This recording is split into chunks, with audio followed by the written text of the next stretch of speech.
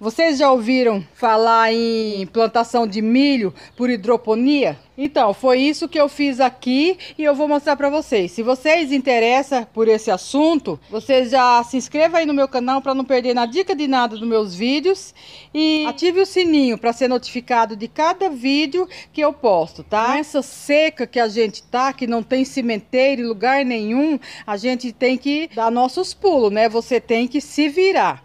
Então, olha o que eu fiz. Ó. Só que eu não coloquei enraizador, não coloquei adubo, eu só coloquei, só plantei, só sameei o milho aqui. Depois, se vocês quiserem o passo a passo, coloca hashtag passo a passo, que eu vou ensinar para vocês. E olha, as famosas caixinhas de leite. Eu coloquei pouco milho também, porque eu não sabia como que ia ser, então eu coloquei pouco milho e também não tem bastante tempo não. Mas eu vou pegar e levar lá para vocês verem. Porque com essa seca a gente tem que driblar a crise e alimentar nossas galinhas, nossos pintinhos. Então bora aqui que eu vou levar lá para as crianças. Olha aqui como que ele fica por baixo, todo enraizado.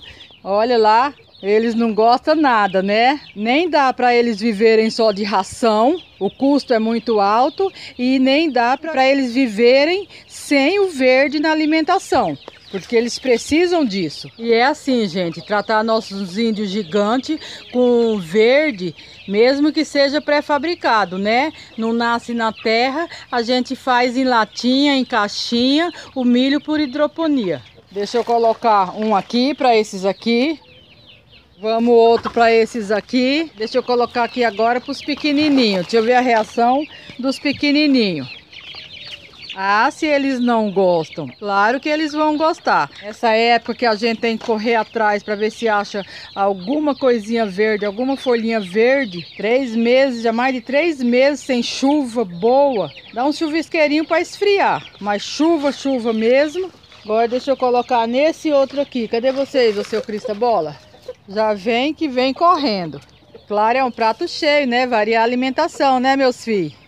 Então, gente, isso é milho por hidroponia. Eu tô acabando esses aqui, essa remessa. Vou fazer outra remessa e vou mostrar para vocês como eu faço. Tchau, tchau, gente. Até o próximo vídeo.